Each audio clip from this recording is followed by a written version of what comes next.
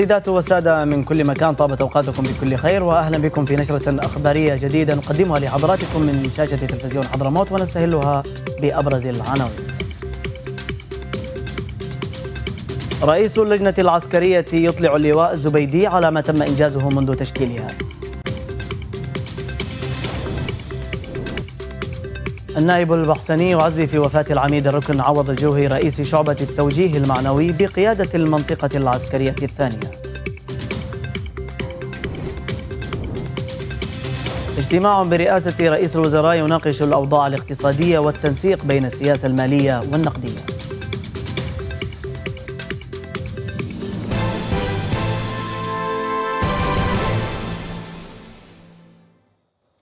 ومن الإيجاز إلى التفاصيل أهلا بكم. التقى عضو مجلس القيادة الرئاسي اللواء عيدروس الزبيدي رئيس اللجنة العسكرية والأمنية العليا اللواء هيثم قاسم طاهر في العاصمة المؤقتة عدن. حيث استمع اللواء الزبيدي إلى شرح عما تم إنجازه في جانب تشكيل الفرق المنبثقة عن اللجنة وتوزيع المهام والخطط والآليات المنظمة لعمل اللجنة. مؤكدا أن اللجنة قطعت شوطا كبيرا في بناء هيكلها الإداري. هذا وشدد نائب رئيس مجلس القيادة الرئاسي على أهمية بدء اللجنة العسكرية والأمنية مزاولة أعمالها في أسرع وقت ممكن.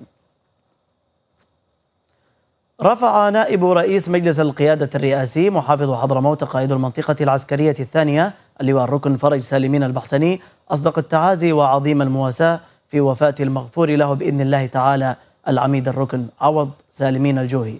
رئيس شعبة التوجيه المعنوي بقيادة المنطقة العسكرية الثانية الذي وافته المنية إثر مرض عضال ألم به. وأشاد النائب البحسني بمناقب الفقيد الجوهي خلال مشوار حياته العملي الحافل بالعطاء وخدمة الوطن مثمنا ما قدمه من تضحيات خدمة للسلك العسكري. وفي مقدمتها دوره الفاعل في معركة تحرير ساحل حضرموت من قبضة التنظيمات الإرهابية وإدارته للمناصب العسكرية التي تقلدها بكفاءة واقتدار مؤكدا أن حضرموت والوطن أجمع خسرا برحيله أحد أبرز القيادات العسكرية التي خلفت أثرا ملموسا في سبيل الحفاظ على الأمن والاستقرار. وبعث نائب رئيس مجلس القيادة الرئاسي خالص العزاء والمواساة إلى أفراد أسرة الفقيد الكريمة وآل الجوه كافة وإلى زملائه في قيادة المنطقة العسكرية الثانية بهذا المصاب الأليم. سائلا الله العلي القدير أن يتغمد الفقيد بواسع الرحمة والمغفرة وأن يسكنه فسيح جناته ويلهم أهله وذويه الصبر والسلوان. إنا لله وإنا إليه راجعون. ناقش اجتماع برئاسة رئيس الوزراء الدكتور معين عبد الملك في العاصمة المؤقتة عدن الأوضاع الاقتصادية والمعيشية على ضوء تطورات أسعار صرف العملة الوطنية والإجراءات المطلوبة على مستوى السياسات النقدية. والمالية. وتدارس الاجتماع الذي ضم وزير المالية سالم بن بريك ومحافظ البنك المركزي اليمني أحمد غالب مستوى التنسيق بين السياسة المالية والنقدية لتنفيذ الإصلاحات وتعزيز مبادئ الشفافية والحوكمة بالتوازي مع جوانب التكامل لضبط أسعار صرف العملة الوطنية. كما استعرض مستوى الإنجاز في آلية تسريع الدعم من الأشقاء من صندوق النقد العربي والمخصص لدعم البنك المركزي. وتحديد أولويات المشاريع المنفذة بواسطة البرنامج السعودي لتنمية وإعمار اليمن. ترأس رئيس الوزراء الدكتور معين عبد الملك اجتماعا لمناقشة المشاريع والمبادرات التنموية المقرر تقديمها للبرنامج السعودي لتنمية وإعمار اليمن والتي سيتم تنفيذها في العاصمة المؤقتة عدن والمحافظات المحررة. واستعرض الاجتماع أولويات التخصيص للمشاريع الحيوية التي تخدم المواطنين وتسهم في دفع عجلة التنمية خاصة المشاريع التنموية المستدامة. ووجه رئيس الوزراء بالتركيز على المشاريع والمبادرات التنموية ذات المردود العالي والمستدام والذي يسهم في تحسين معيشة المواطنين وحياتهم في عدن والمحافظات المحررة منوها بالدعم السعودي لليمن وشعبها في مختلف المجالات ومنها في مجال المشاريع والمبادرات التنموية. ناقش وزير العدل القاضي بدر العارض اليوم في العاصمة المؤقتة عدن مع رئيس اللجنة الوطنية للمرأة الدكتورة شفيقة سعيد التنسيق بين الوزارة واللجنة في مجال الدعم القانوني والقضائي للنساء المعسرات والتشريعات القانونية الخاصة بالمرأة. وأكد الوزير أهمية تقديم العون القانوني للمرأة وزيادة العمل المشترك بين إدارة المرأة والمكتب الفني بالوزارة وإدارة الشؤون القانونية باللجنة الوطنية.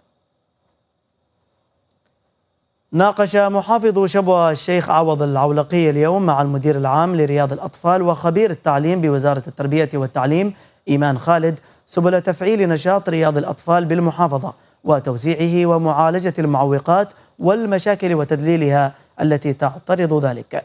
وخلال اللقاء أشار المحافظ العولقي إلى أهمية وجود رياض الأطفال لما لها من دور في تنشئة الطفل للنشأة الصحيحة التي تؤهلهم للالتحاق بالدراسة الأساسية بعد إدراكه وفهمه للكثير من الأمور المتعلقة بالحياة التعليمية بالإضافة إلى كونها تعمل على غرس القيم الأخلاقية والإنسانية في نفوس الأطفال.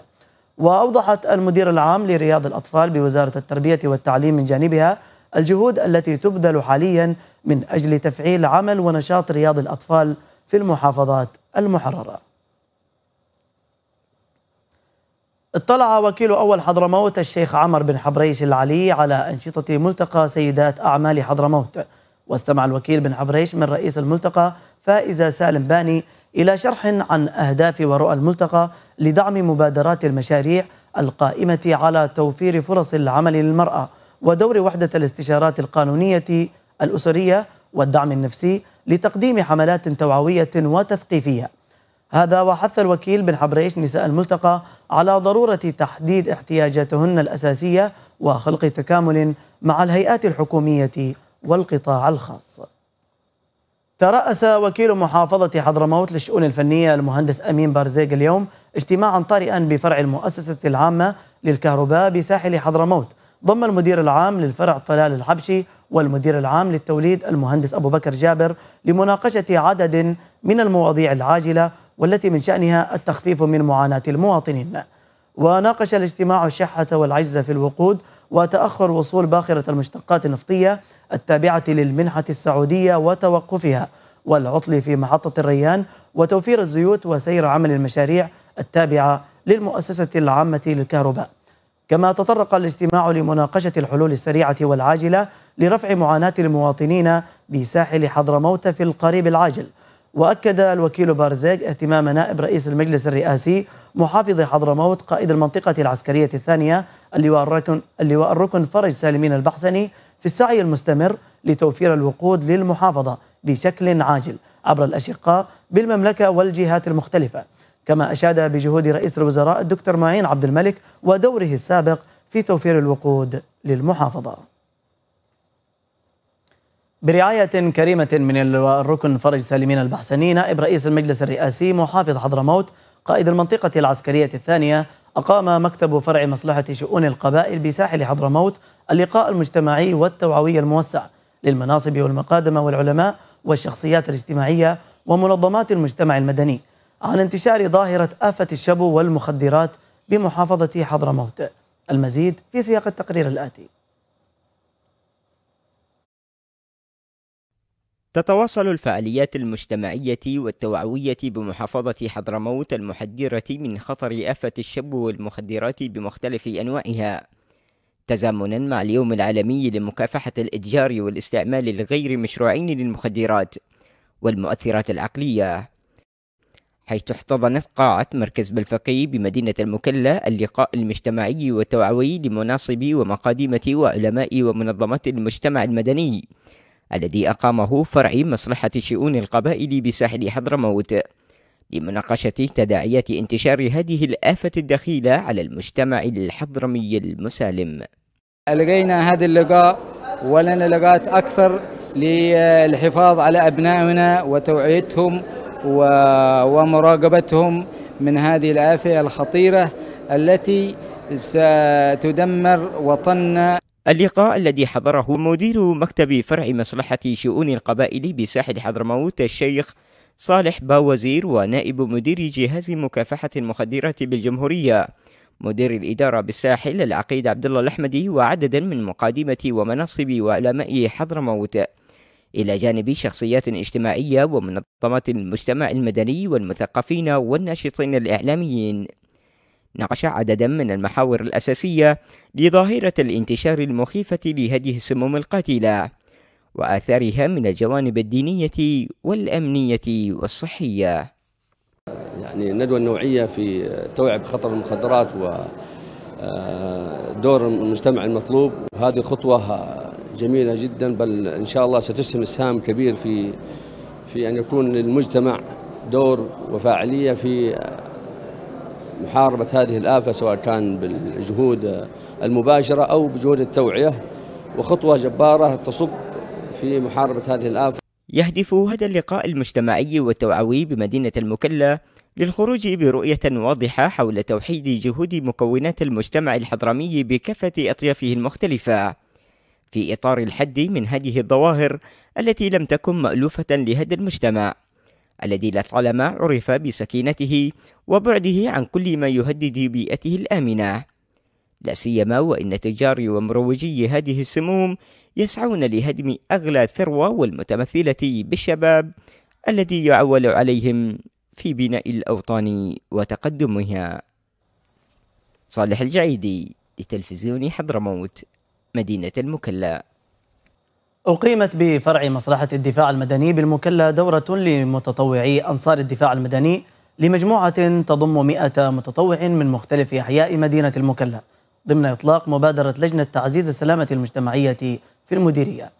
وأشار العقيد مرعي خلع إلى أهمية استنهاض الوعي الرسمي والشعبي لتعزيز ثقافة التطوع وتعميقها في نفوس الشباب. كما أوضح المدير العام لمديرية مدينة المكلا المهندس صالح العمري أن عملية نشر الوعي الوقائي وثقافة الدفاع المدني تنطلق من الكادر المدرب حيث يعد المتطوعون جزءا من جيش الإسناد الوطني في التعامل مع الحوادث. تسلمت المؤسسة العامة للكهرباء بمنطقة المهرة ثلاث سيارات نقل مقدمة من السلطة المحلية بالمحافظة عبر فرع شركة النفط اليمنية. هذه الدفعة الجديدة من سيارات النقل ستسهم في تسهيل عمل فرق الطوارئ بالمؤسسة في سرعة الاستجابة للاختلالات التي تطرأ على خطوط الكهرباء بين الحين والآخر تزامنا مع فصل الخريف وما ترافقه من مشاكل في تلك الخطوط ويأتي هذا الدعم ضمن الجهود المشتركة والتعاون المستمر بين السلطة بالمحافظة وشركة النفط اليمنية فرع المهرة لتسهيل عمل المؤسسة العامة للكهرباء. تسود مدن ساحل حضرموت أجواء صحوة رطبة مع عوالق ترابية خفيفة مع بعض مع بعض السحب المتفرقة ورياح معتدله السرعة تنشط أحيانا ودرجات الحرارة حاره نهارا إلى معتدله ليلا. وفي أرياف الساحل والهضبة الجنوبية أجواء صحوة مع فرص نشوء سحب رعدية متفرقة على رؤوس المرتفعات خلال المساء ورياح هادئة إلى معتدلة السرعة ودرجات الحرارة حارة نهارا إلى معتدلة ليلا فيما تشهد مناطق وادي وصحراء حضرموت والهضبة الشمالية أجواء صحوة بوجه عام مع غيوم متفرقة أحيانا ورياح معتدلة إلى نشطة السرعة على فترات ودرجات الحرارة شديدة الحرارة نهارا إلى معتدلة نسبيا ليلا والآن ننتقل بكم إلى حالة الطقس.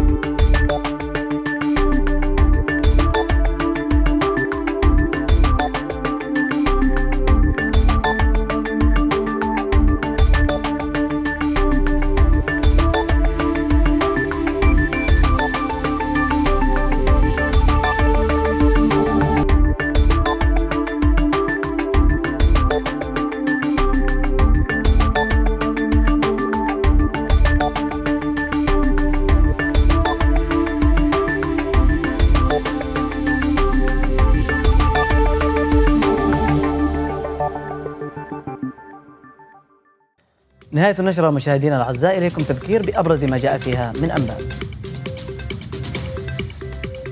رئيس اللجنة العسكرية يطلع اللواء الزبيدي على ما تم إنجازه منذ تشكيلها.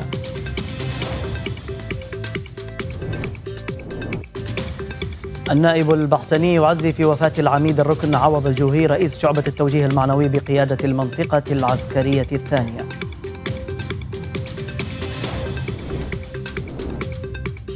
اجتماع برئاسة رئيس الوزراء يناقش الأوضاع الاقتصادية والتنسيق بين السياسة المالية والنقدية.